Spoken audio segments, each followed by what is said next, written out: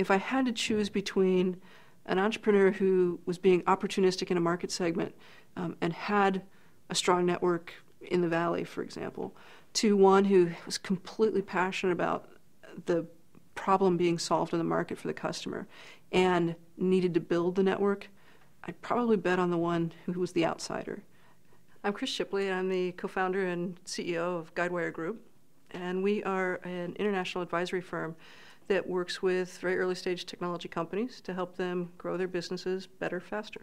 I was the executive producer of Demo uh, for a number of years. We did, uh, over those years, about 24 demo conferences and helped 1,500 companies launch their products. In 98, I made the decision that every company that would be on the demo stage would also be launching their product for the first time on the demo stage. And that really shifted the agenda from a broader industry focus to a startup focus. There were a lot of opportunists in the dot com bubble, people who uh, simply found that the dot com era was an opportunity to potentially build and flip a company and make a lot of money. I think the entrepreneurs we see today are I would say more genuine entrepreneurs. They're passionate about the technology they're creating, they're passionate about the ideas they're bringing to market. Finding an entrepreneur who brings that whole um, kind of emotional self to the table, that, that uh, uh, coupled with an intellectual drive and a real passion for what they're creating, to me, trumps even what they're creating.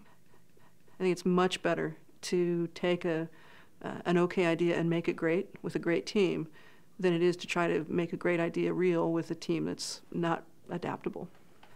Most of the entrepreneurs I know either have no clue what could go wrong or don't care or are going to go on an act of faith and build their businesses anyway. And I think those are the ones who, who do things that are impossible. While you do need to, as an entrepreneur and a founder and a leader of a, a startup company, need to be passionate and blind to the risks and failure be damned, I think you also have to be a realist and you have to recognize when the business is going a little sideways or needs a new focus or has to uh, step back and reevaluate. It is necessary to be part of a, a larger community to build a business. Uh, it doesn't necessarily mean you have to do it all yourself. And in fact, that modality of, damn it, I'm the founder, I'll do it myself, is more likely a failure mode than it is a success mode. If I look out to five years, I'd like to see a, a world that's kind of a little faster, but a lot smarter, um, and a lot more well connected.